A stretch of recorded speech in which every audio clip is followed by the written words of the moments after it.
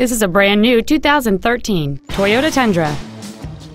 It has a 5.7-liter eight-cylinder engine and an automatic transmission.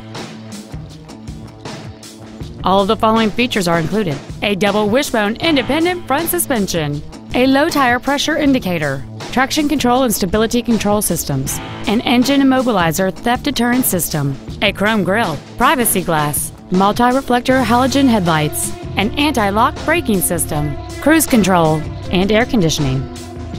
We invite you to contact us today to learn more about this vehicle.